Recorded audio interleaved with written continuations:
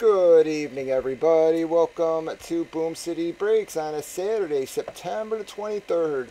Tonight we are breaking Hit Parade Signature Series Comic Slab Editions.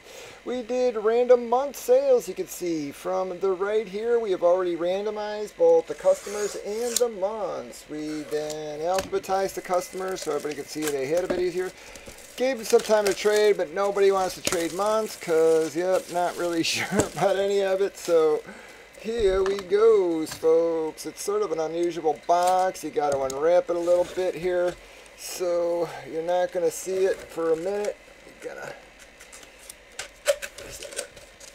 awful boxes for this. All right, guys, you actually got to flip it over one more time and well, it's going to be a Dead Man a book, a Justice League Dark, folks, actually.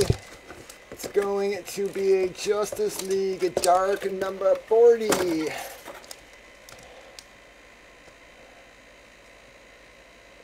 Cover signed by Joe Quinones on 820 2016 at Wizard World Comics.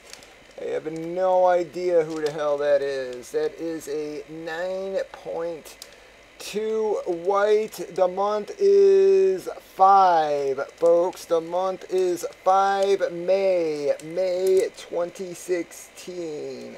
May 2016.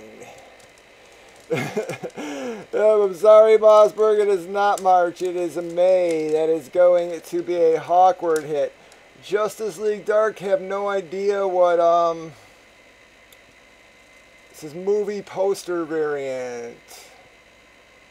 Have no idea what the hell that means because there wasn't no Justice League Dark movie. I have no idea.